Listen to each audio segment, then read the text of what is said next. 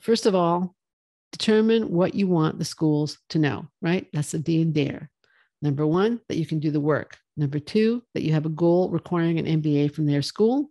Number three, that you share the school's mission and values and that you meet its criteria. And four, that you have the distinctive background, experience, perspective to contribute to the richness and diversity of the class that you're really going to add to the class discussion and the school's community. And the DARE approach to giving them what they want to know. Again, determine what you want the schools to know, assess what information does each application element seek, R, relate what schools seek to what you want them to know, and then E, that all three or all four will establish a structure for your compelling MBA application for each and every school.